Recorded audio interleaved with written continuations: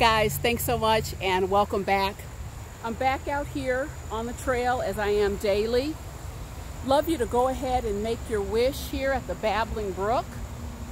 Okay, fantastic. Let's go ahead and, and start our walk. Wonderful to connect with you. Uh, I have to tell you, I'm out here daily because I'm really only interested in one thing, and that's checking the boxes for you.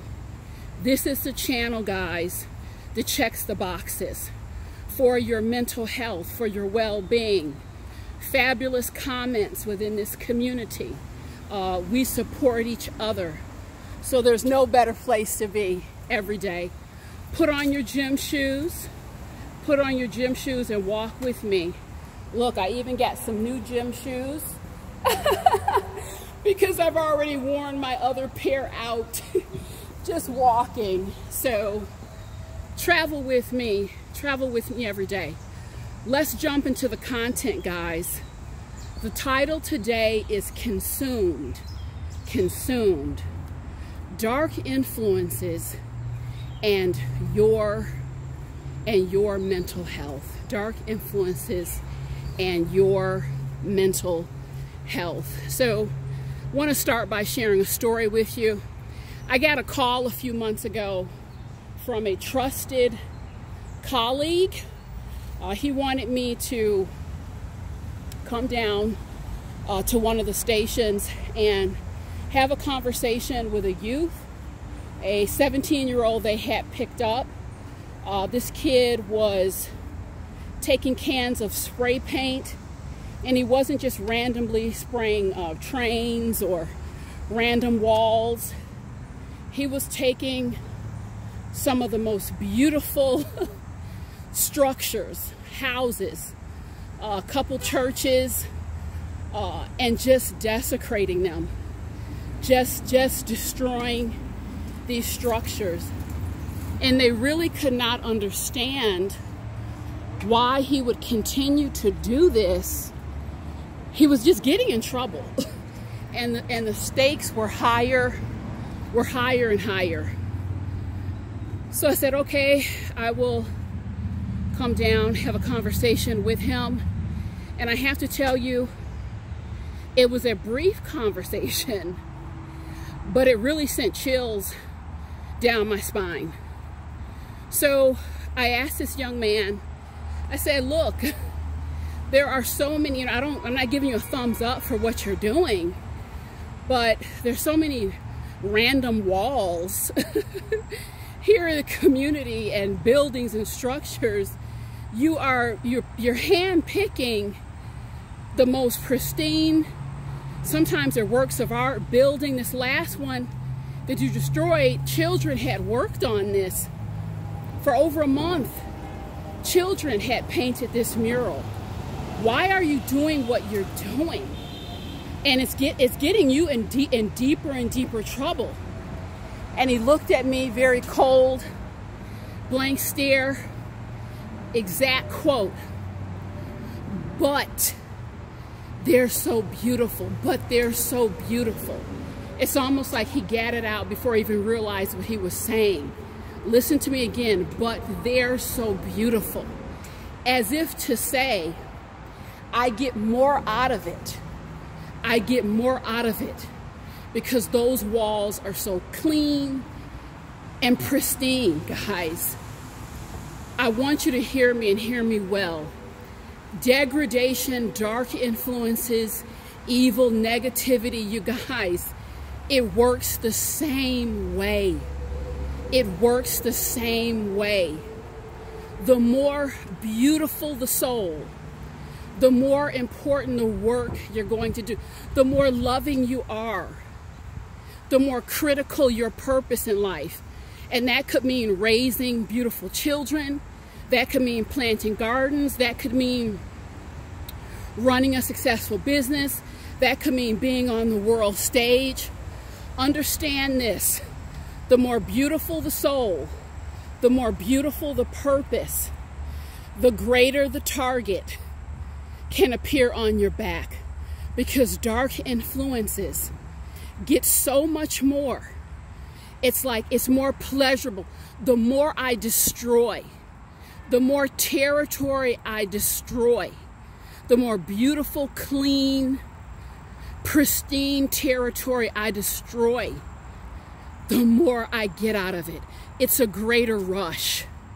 It's a greater rush.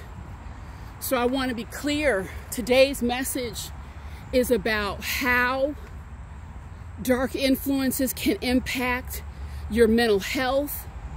I want to talk about consumption, consumption, and what, what you can do about it. The bottom line is this. We are all responsible for keeping our lives lifted. And a lot of you are going to say, Sheila, it sounds good. You don't have a clue. You don't have a clue what I've gone through. I've lost a loved one. A relationship is gone. I'm taking my life's walk alone. I'm compromised. I feel sick. I'm ill. You guys, it all goes under the same umbrella for me of responsibility. If you don't do it, if you don't do it, who is going to do it? Who's going to do it? I'm going to reference my video series for you. Um, it's uh, Dark Influences Part 1 and 2. I'm not going to get into the innards today of my story, but I, I will say this. I will share this with you as I shared in that video series. There's a time in my life and early on, early on, I knew I was given, God gave me a framework for what he wanted me to do. I grew up, I had always been, always been a believer, you know, trying to do good in the world. And I remember this mandate was becoming stronger and stronger. This is what I want you to do. This is how I want you to start. I didn't know exactly how it would look ultimately, but I was, you know, I was given a point in the right direction. and one day I had prayed, and right after that prayer, my exact, exactly what I said was, you know what, God? I understand what you want me to do and what you want me to share and teach. But I wish, I wish there was a way, I wish there was a way that I could, I could really know for absolute, for absolute certain. And what I wanted to know for, for absolute certain, I'm not even sure of that till this day. But essentially what was happening was God had said, you know, if, if you go, if you go across the street, just trust me, a Mack truck will come and hit you. And I did the equivalent of, yeah, uh, I believe what you're saying, but just let me experience the hit. Let me experience the hit so we can just give that a little test. And so shortly after that, as you will listen to in my series, Dark Influences, exactly that happened. Exactly that happened. I witnessed in my own life in the lives of others, through my practice over the years. I, I have literally witnessed on a personal and professional side how dark influences will come in and make no mistake, consume, consume the greater part, the greatest parts of your life. I see people who are experiencing um, stagnation, um, I've had people to say to me, you know, I don't, I don't feel good most of the time. I feel uh, depressed. I feel a sense of oppression. I take one step forward, there's another step taken back. I, I feel um, physically and mentally affected and impacted. People say that all the time. Uh, people tell me my relationships, I feel like they should be better, stronger. Uh, they they fall into tatters despite my best efforts, despite everything that I'm doing for myself. I, I just don't have that energy and that fortitude. And more than anything, I just don't feel that that resilient spirit, that loving spirit is active and alive in me. And you guys, I'm going to be as, just, just as point blank as I can and say this to you. It is not healthy and we were not intended we were not intended to take this walk diminished, not feeling emotionally sound, not feeling like we're at the helm of our own ship, battling uh, fatigue, stress, mental illness, um, battling jealousy, envy, uh, ill will toward others. I want to tell you that when you are elevated, when you are living a life that's centered, you are growing that relationship uh, with your creator. You know who you are. You have invited love and levity into your life. It is reflected. It is reflected in how you feel. It is reflected in how you feel and how you move and your day-to-day -day experiences. It's, it's really just that simple. And I use the word consumption uh, in, in today's title because essentially, essentially that is what you can call it negativity, you can call it dark influence, whatever name you want to give to it. That is essentially what it will do. That's essentially what it will do to your life. And it's so insidious and people try to, um, they've written books, they want to study uh, this dark influence, what, what, is the, what is the nature of it? Let me, let me tell you this. And people use the words like there's, an, there's a, a complex interplay between mental health and, you know, sp spiritual elements. It is not complex. It is as not as complex as people would have you to believe. Because as long as you believe that, it's really the equivalent of standing in a burning building. Instead of running out, you say, well, wait a minute, I want to check the exact temperature. Uh, wait a minute, what is the structure composed of? Is this a three alarm fire or is this a four alarm fire? It doesn't matter if it's a three alarm or get out. The house is on fire. And so when we talk about shoring up our lives and not allowing ourselves to be consumed and to, and to be distracted by negativity and by dark influences, you don't have a lot of time to reason, uh, to, to investigate. What you have time to do and a really wonderful and tremendous response is, wait a minute, hold on, hold on, let, let me stop, let me stop and really see what is going on here. There are some mazes that you can be so lost in you cannot get yourself out. You cannot get yourself out. But what you can stop and do at any time is say, wait a minute, in over my head.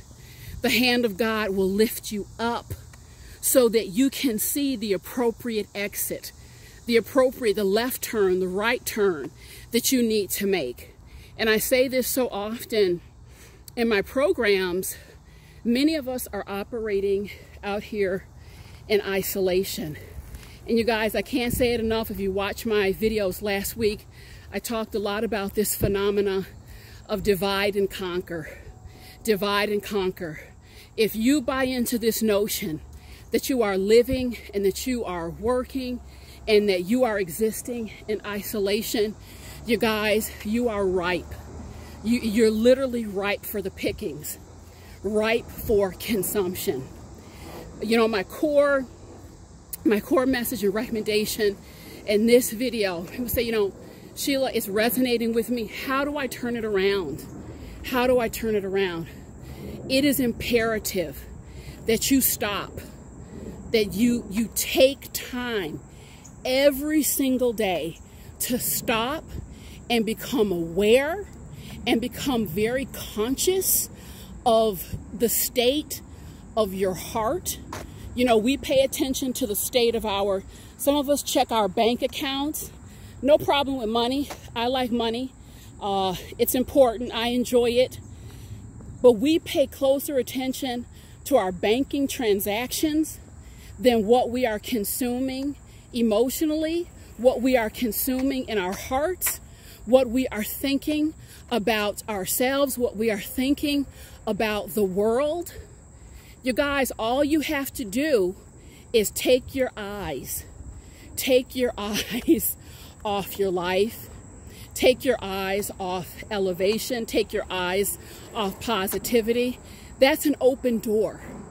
That is an open door. I'm convinced, you know, having dedicated my life to educating people about mental health, certainly there are issues, you know, organic brain issues. Certainly there is something called anxiety. Certainly uh, depression exists. But you guys, there's also a very real underbelly. and the spiritual aspect of that is not taking the time, not taking the time to nourish, nurture your soul, to pray, to be very aware of letting love and light in your heart every day. These aren't things that have to be backbreaking. It, it literally involves stopping and pausing throughout your day, throughout your day to connect, to connect in meaningful ways. I do things, very simple things, surrounding myself literally, imagining spiritually or surrounding myself in the light of Christ. Take an opportunity throughout the day to send columns of light throughout my community and then throughout the world. I take an opportunity every day to open up the spirit in the heart to light and levity, not holding grudges, letting go. I didn't say let everyone into your life. That's not what I'm saying. You know, some people really do need to stand set apart. But you don't need to nurse the grudge for the rest of your life either. So this is the maintenance, guys, I'm talking about. Consumption is real. Consumption is real. I've worked with people. Sheila, I haven't slept. I haven't slept in seven years. I've gone to every doctor under the sun. They say that nothing, nothing is wrong. Nothing is wrong with me. You guys, consumption. I've had people say, Sheila, I, as hard as I try, I just, you know, in my heart, I don't, I don't have goodwill toward people. I'm envious. I hate it. There's a part of me that battles it, but I don't know what to do. You know, what, what is the diagnosis for this? Is that somewhere in the DSM-4? No, it's not. It's consumption, guys. It's consumption. Getting your heart, getting your mind, getting your life, getting your thoughts all in alignment. Everyone can do this work. It takes awareness. It's not something you do passively. It's very active, it's very conscious work, you guys. So this is something I'd like you to think about today. Uh, taking control. Taking positive and active control of your mental health also means taking control of filling up those spaces so there is no available space in your life for dark influences to manipulate you. Guys, I'm gonna finish my walk. It's getting hotter and hotter as I walk. I'm gonna do a couple more miles. I challenge you to do the same, guys, and I'll see you soon. Thanks so much.